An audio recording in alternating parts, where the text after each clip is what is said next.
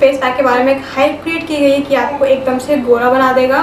झूठ है, उस बात पे बिल्कुल भी मत चाहिए एकदम से गोरा बना देने वाली बात that is just a click wait क्या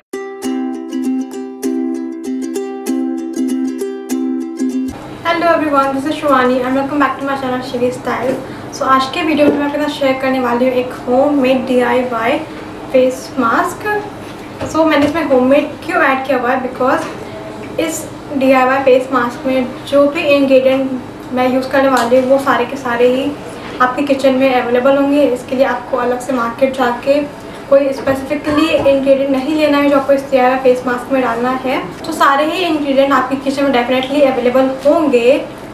सो so, जिस दिया फेस मास्क की मैं बात कर रही हूँ बिकॉज़ ऑलरेडी नो कि मैं किसकी बात कर रही हूँ। So I am talking about ubtan face mask वो हल्दी बेसन वाला पैक जो नॉर्मली घर पे हम की मम्मी या फिर कोई भी रिलेटिव नानी, दादी वगैरह बहुत ज़्यादा यूज़ करती थी बिकॉज़ उस टाइम पे तो और ज़्यादा फेस मास्क की वेराइटीज़ बहुत कम होती थी तो they use to make their own version of D I face mask at home and और वो फेस पैक बहुत अच्छे से आपकी स्किन पे वर्क करते हैं और उसके बहुत सारे फ़ायदे हैं, एक नहीं, दो नहीं आई डोंट नो बहुत सारे फ़ायदे हैं उसको यूज़ करने के और वो बहुत इजीली घर बन जाता है सो इसलिए और भी ज़्यादा इजी हो जाता है उसको बनाना।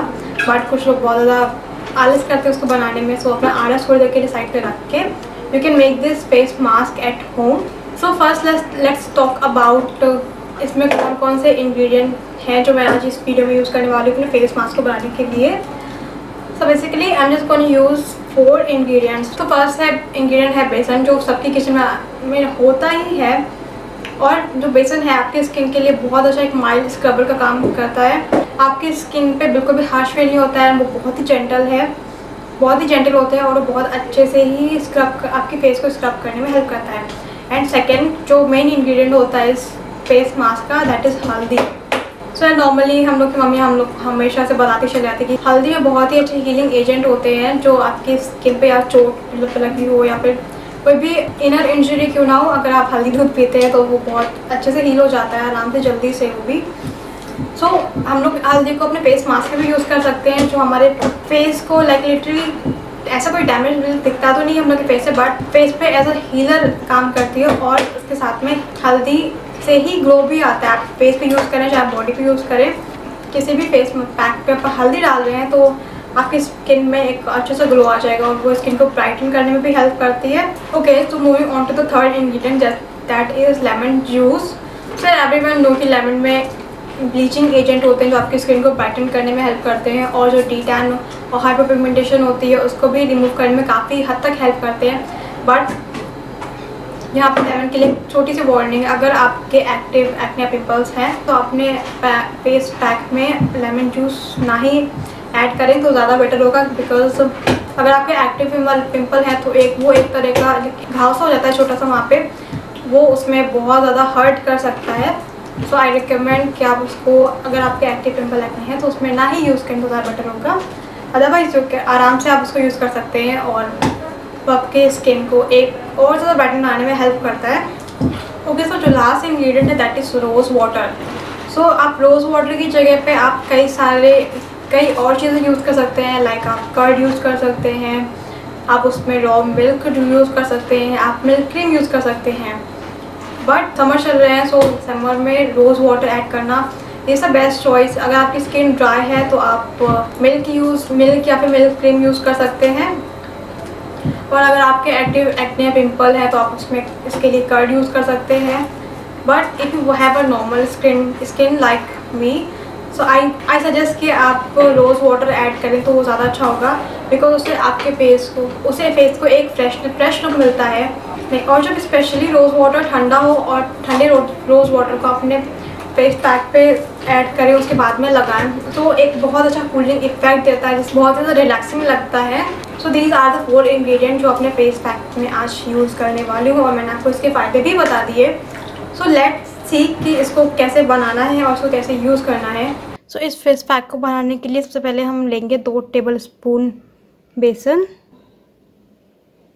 और उसके बाद में जितना हमने बेसन लिया है उसका वन फोर्थ हल्दी इसमें मिलानी है।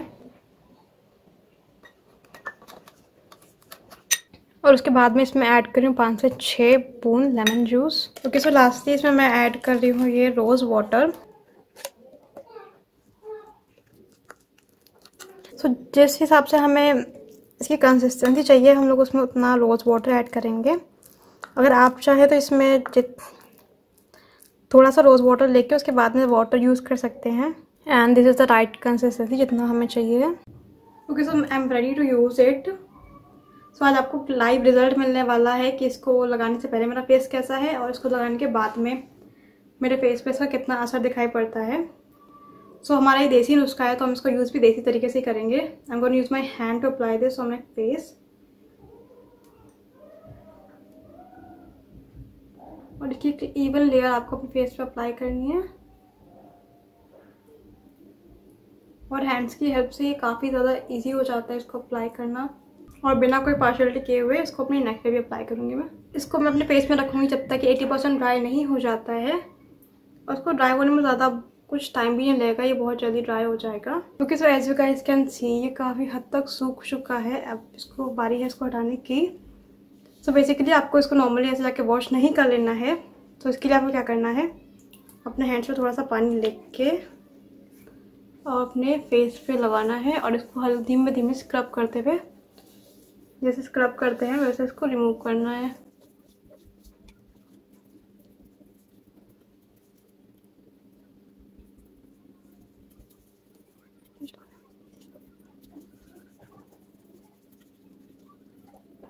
ओके okay, सो so मैंने अपने फेस को अच्छे से मसाज कर लिया है। और अब मैं इसको वॉश कर लूँगी जाके।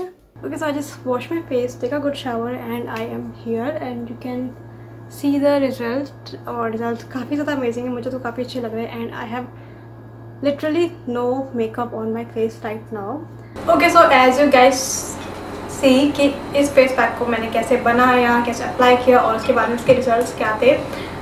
So now let's talk about कि इसको अप्लाई करने के फ़ायदे क्या क्या होते हैं। तो let's start with a simple one कि इसको अगर आप अप्लाई करो तो आपके फेस पे एक ग्लो आता है, ये फेस को ब्राइटन अप करता है एंड सेकेंड आपकी ये टैन और पिगमेंटेशन को काफ़ी हद तक रिमूव कर देता है।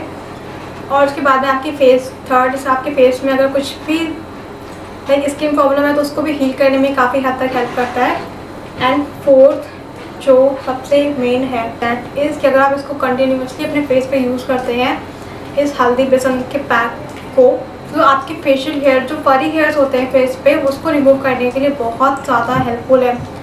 लाइक ये काफ़ी सारे डर्माटोलॉजिस्ट ने ये ये चीज़ बोली भी है कि अगर आप अगर हल्दी बेसन के पैक को कंटिन्यूसली अपने फेस पर अप्लाई करेंगे ठीक है हर रोज़ नहीं एटलीस्ट वीक में टू से टू टू थ्री टाइम्स अगर आप यूज़ भी करते हैं तब भी आपके फेशियल हेयर्स को वो काफ़ी अच्छे से काफ़ी हद तक कम करने में हेल्प करता है। तो इसके इतने सारे फ़ायदे हैं सो डेफिनेटली आपको इसको ट्राई करना ही चाहिए।